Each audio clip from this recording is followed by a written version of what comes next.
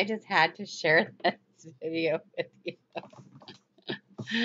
I still can't bring myself to get through 1984. I like got to the first chapter, but I've heard so many things about it, studied it for so long, seen bits and pieces of the movie, and listened to so many like little crash courses or thug notes or whatever that um that has given me a good base of understanding for this horrific fucking movie. It's so hard to watch. It really is. And I'm a pretty happy-go-lucky, upbeat kind of a person. You know, just as a saying, I don't believe in luck. That's the Eastern thing, but this this saying of it, jovial, I guess, is a good a good word. But um, it's that's a hard book to take in, right? So I really, really, really like when people do these tiny little things on drawing parallels and lessons and understanding of a of a, a framework of how society is being warped and changed to bring about the rise of what the prophet Daniel and the prophet Jesus, who is God, and um, John and uh, the prophet Paul, and so many of our Jewish heroes of the faith um, that we would see in global government coming about. So it's really interesting to get into this dude's mind because this guy just were there ever a dude that had the wiring to know how to create essentially a how to enslave humanity type of experience it was found in this dude's mind i just would have loved to have had coffee with him one day and just talk to him and just get a taste of his personality Anyhow, How Freedom Dies, George Orwell in 1984. And I, yes, I had to read it backwards because you know that from their insignia of INSOC or whatever it's called, uh, in, INSOC, I guess is how it's pronounced. Just even the wording of it, it seems to be backwards, and they've done that on purpose. So let's listen. George Orwell's writings have experienced a spike in popularity over the past decade and for a simple reason. Modern societies are becoming ever more like the dystopia depicted in Orwell's most famous book, 1984. Whether it be mass surveillance, the incessant use of propaganda, perpetual war, or the cult of personality surrounding political leaders, it is not surprising that many see Orwell's novel as prescient in many ways. With that said, the West remains much freer than the dystopian society of 1984, but the trend does not bode well for those who favor a free society. Orwell, in fact, believed that totalitarianism of the type he satirized in his novel was a distinct possibility for the West, and at times he went as far as to suggest that it may in fact be inevitable. Almost certainly, he wrote in 1940, we are moving into an age of totalitarian dictatorships. In this video, we will look at what caused Orwell's pessimism, focusing on two trends in particular, the move toward collectivism and the rise of hedonism. Oh, wow. Collectivism is a doctrine or set of ideologies in which the goals of a certain collective, such as a state, a nation, or a society, are given precedence over the goals of individuals. Socialism, communism, nationalism, and fascism are all collectivist ideologies. Orwell believed that a precondition for the rise of totalitarianism was the emergence of a collectivist social structure, as this permits the centralization of power needed to exert total societal control. Orwell's view of the connection between totalitarianism and collectivism has proved puzzling, as Orwell was a staunch leftist, a critic of capitalism, and a socialist. How could someone who favored socialism, a collectivist ideology, at the same time write a dystopian novel which portrays a collectivist society in such a horrific manner? To understand his position, it must first be realized that Orwell did not consider capitalism to be a viable system. It is not certain that socialism is in all ways superior to capitalism, he wrote, but it is certain that, unlike capitalism, it can solve the problems of production and consumption. Capitalism was such an inadequate system in Orwell's mind that, like many leftists of his day, he believed that it was on its deathbed and would soon be replaced by some form of collectivism. He saw this as inevitable. The issue for Orwell was what type of collectivism would take its place. The real question, he wrote, is whether capitalism, now obviously doomed, is to give way to oligarchy, totalitarianism, or to true democracy, democratic socialism. Following the impending death of capitalism, Orwell hoped that democratic socialism would be adopted in the West.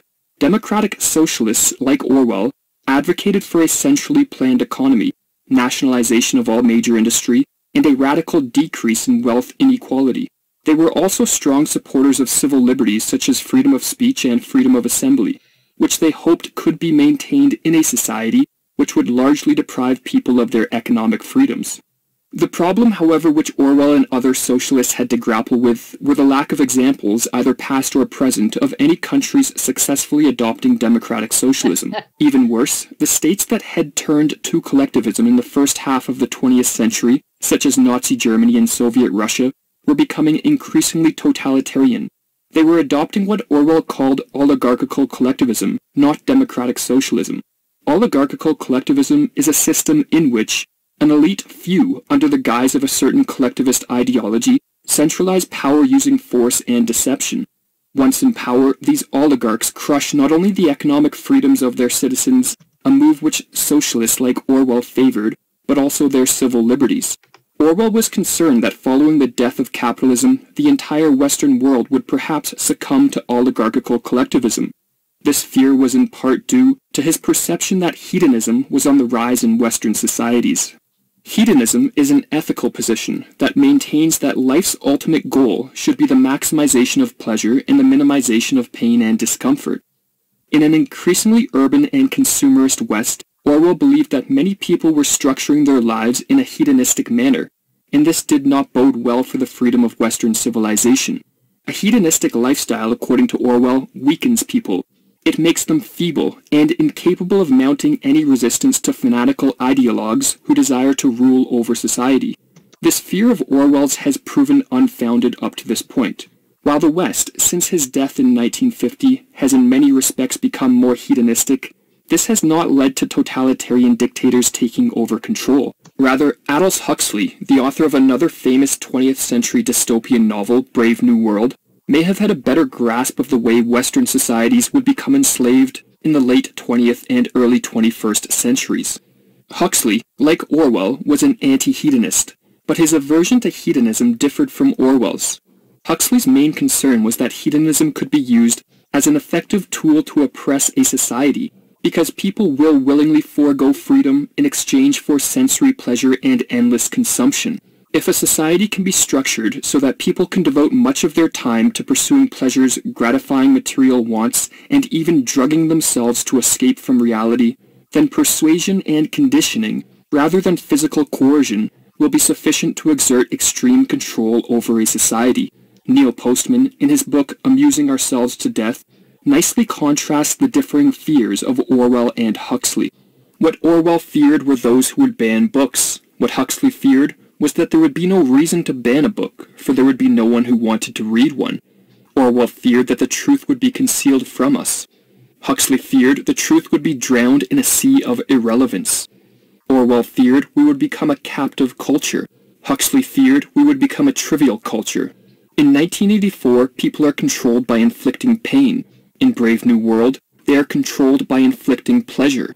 In short, Orwell feared that what we fear will ruin us. Huxley feared that what we desire will ruin us. Wow. The West, it seems, finds itself in a situation somewhat analogous to what Huxley feared. For like the proverbial frog in boiling water, oh. citizens in the West accept greater and greater intrusions into their freedoms and with little resistance. The overt physical coercion that Orwell thought would be required to enslave a society has so far proved unnecessary. Before dismissing Orwell's fears completely, however, it must be noted that Orwell was familiar with Huxley's position, and he did not deny that the hedonistic society Huxley feared was a possibility. But he saw it as a temporary stage, creating the ideal conditions for a more brutal regime to seize control and impose its will on society.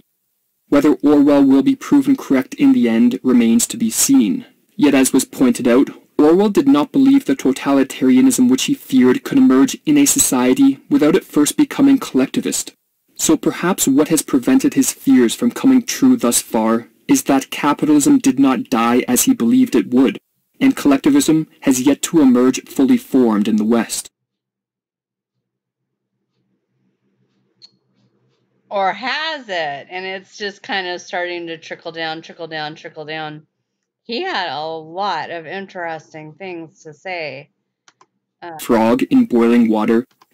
Look at that. That this is um this is very interesting this picture. So when you see all of these bald-headed people, you you know, obviously this is a woman, but ideally when you plug in the Kabbalah that we talk a lot about uh, from a research standpoint, and then pouring everything through a biblical worldview, it's really interesting because when you go over to Trans Apocalypse Now, his channel, I really like his channel. He will delve into the meaty Masonic Kabbalah underpinning underpinnings of the religion of like Inanna worship, Ishtar worship, or these various um, death cults from the ancient uh, Far East, who they would worship this he she entity and they their behavior would match with their god right so in the bible where you have conversation about you know an entity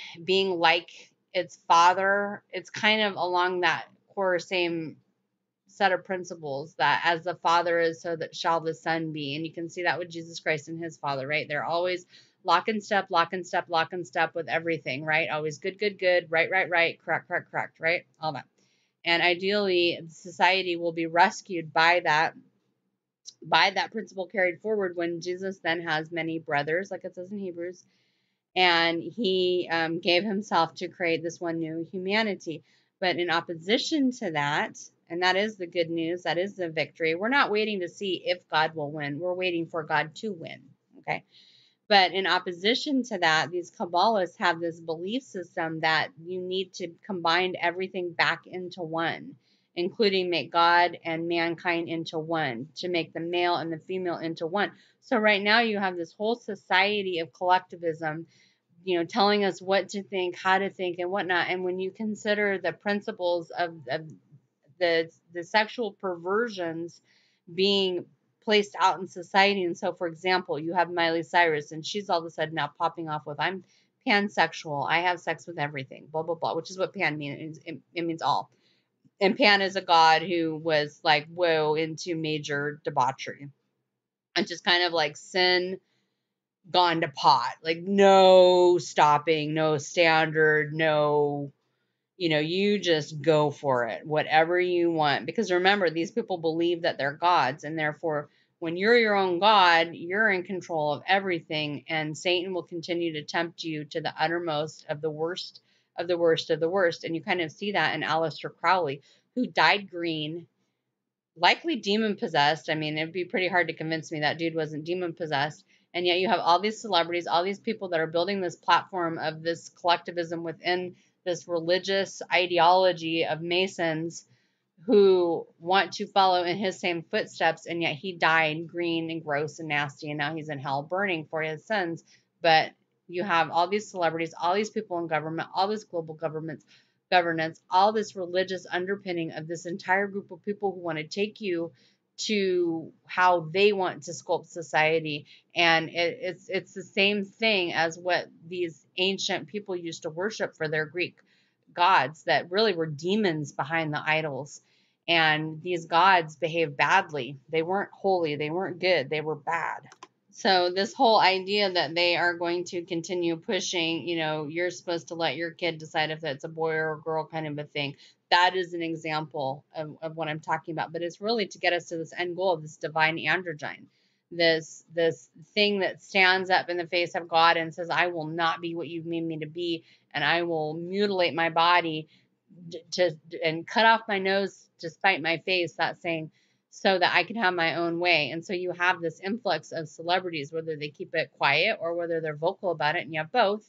And you have this gender transitioning movement, and then that leaks out into the public. And it's all about this control structure from within that tells you how you're supposed to do things. And it's always anti biblical, anti biblical worldview, anti going underneath the submission of Jesus. And they paint that to be the worst possible picture ever that is how society is going to be turned to full bore Satanism. and then you know eventually this Noahide coming and then killing people when they don't do as this one group of totalitarian crazies in power and control set everything up to be because Satan's end goal is to kill. It's it's to change society and then kill it off. Really, at its deepest, chorus endpoint, that's the goal. I would say also that when you see this Big Brother is watching you, and then you have all these celebrities that are doing all these hand signs and things like that in masonry, they're all telling you the same thing. It is good and efficacious to know what these signs mean because they're telling you in a thousand different ways that you are under heavy surveillance. You are.